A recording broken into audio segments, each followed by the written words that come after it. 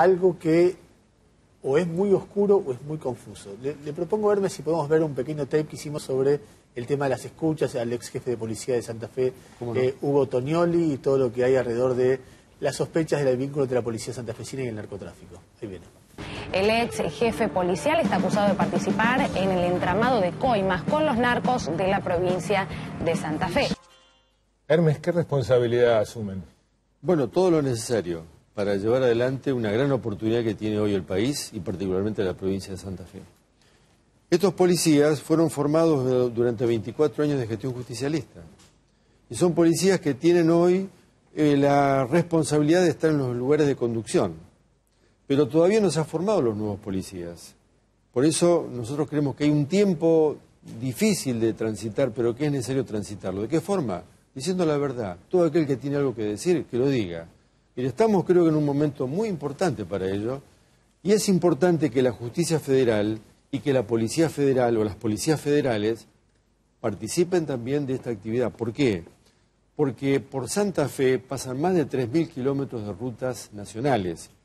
Ahora, Hermes, por lo que usted dice, eh, estamos condenados por muchos años a tener cúpulas policiales eh, corruptas y en connivencia con el narcotráfico si el razonamiento es, durante mm, muchos años fueron formados en dictadura... Pero hay, mucha gente buena dentro de la policía. Entonces no hubo equivocaciones en la designación y en la elección de la No, porque nosotros lo que hicimos fue primero buscar la foja de servicio de cada uno y después buscar su nivel de del escalafonamiento. Entonces no hubo equivocaciones en la designación y en la elección de la No, porque nosotros lo que hicimos fue primero buscar la foja de servicio de cada uno y después buscar su nivel de del escalafonamiento. Con lo cual estos dos elementos le dan a usted la posibilidad de incorporar a tal o cual persona dentro de los cargos de conducción. Ah, Hermes, usted señala la gravedad del, problema del narcotráfico.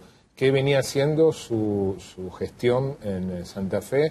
Y me imagino bueno, en gestión pasamos a, en el tema narcotráfico. Disponibilidad 500 eh, mm, policías.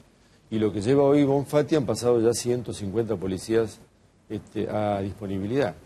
En materia de lucha contra... En materia de lucha contra el narcotráfico. ¿Qué venía haciendo su, su gestión en eh, Santa Fe? Y me imagino... Bueno, en gestión pasamos a, En el tema narcotráfico. Disponibilidad 500 mm, policías. Y lo que lleva hoy Bonfatti han pasado ya 150 policías este, a disponibilidad. En materia de lucha contra. En materia de lucha contra el narcotráfico. El vínculo de la policía santafesina con las barras bravas de Newell's y de Rosario es ostensible, indiscutible, los protegen todo el tiempo. Este, y venía diciendo, y esto es eh, debilidad o complicidad del socialismo que no se mete en esto o deja ser. Porque es tan evidente que los protegen ¿Usted está de acuerdo con esto? ¿Está en desacuerdo? No, yo creo que estamos ante una situación complicada. Esto es así. Y tiene que actuar la justicia. Digo, los casos se conocen. Toda la gente que pasa a disponibilidad quedan allí. Cuando alguna vez se pone alguien, eh, se detiene a alguien, en poco tiempo lo liberan.